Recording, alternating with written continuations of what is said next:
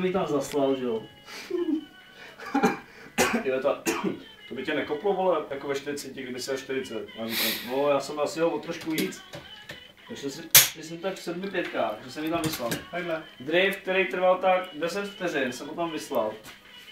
No a na konci driftu byla louže, která byla tak 3 metry dlouhá a tak 50 čísel hluboká. A ne, že jsem ji vzal třikrát, já ji vzal ve prostřed, jo.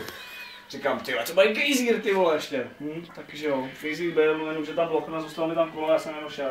To letecký den, a přiběh nějaký houbař, ty vole. To bylo To co do dobrý. tebe píchat holí, jestli jsi živej. To bylo dobrý, jak něco. Já říkám, jo, dobrý, ty vole. Když jsem sundal ten kýbel, vypadal jsem jak šáša krasty, takže prout tady ne. Ještě jsem se potřeboval, vole. Z- A v vole. rychlejcích prej. To je den, ty vole. Nejdřív kolo, vole, pak ty řízení, vole. Teď wavebook, půlka motorky mi schořela, vole. Jedu domů, jsem nasranej. A za 10 minut to ještě rozvěsí v louži.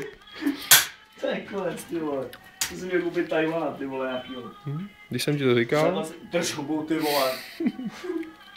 Za 20 tisíc jsem si ho měl koupit. Rozkudí do kopnul ho do. Jebe to, to už je vole 250 tisíc, ty kretére, vole. To je ten nejtek, vole. Rozebrat. Rozborka, zborka. Ty vole, jakože ty nejty šli tam ty pěkně odvrtat a to, ty vole. Já jsem asi vzal s tím ocelovým středem. tam ty byly hliníkový, vole. No to nebyly, byly. Zahoukej tam. Jaký to bude mít zvuk. Hm, To bych chtěl Ivetu, aby pořádně zařvala. Já jsem to usedu. Ale ty vole, tak co tam dám, ty vole? A jenom trošku schořeli, veď ten wavebook. Tak dáš ten jo? Jenom malinko se to popálilo tím plamenem.